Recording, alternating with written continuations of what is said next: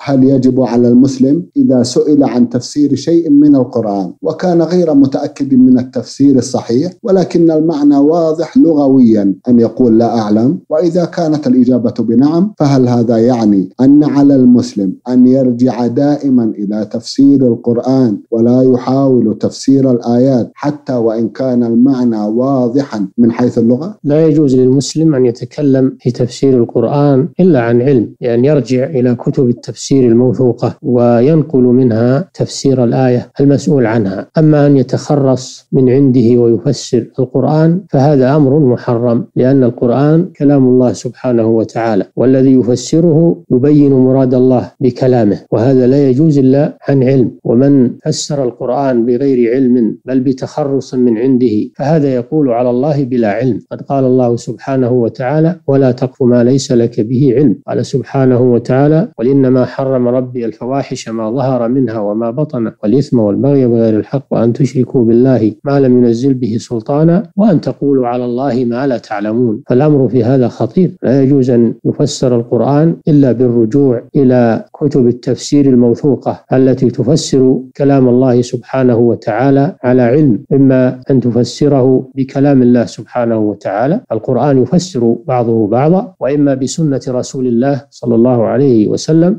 لأن السنة تفسر القرآن وتوضحه وإما بتفسير الصحابة لأن الصحابة أخذوا العلم عن الرسول صلى الله عليه وسلم وهم أدرى بمعاني كتاب الله عز وجل لأنهم تلامذة الرسول صلى الله عليه وسلم. فهذه وجوه التفسير. وهناك وجه رابع وهو العلم باللغة العربية التي نزل بها القرآن.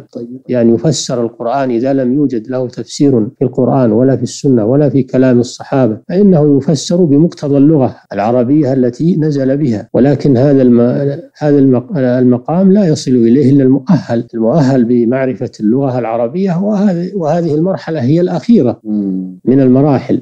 ما يكفي أن يكون عالما باللغة العربية فقط وليس عالما بالقرآن ولا بسنة الرسول صلى الله عليه وسلم ولا بأقوال الصحابة. لا بد أن يكون عالما بهذه الأمور قبل علمه باللغة. لأن العلم باللغة الذي يخول التفسير إنما هو آخر المراحل. نعم.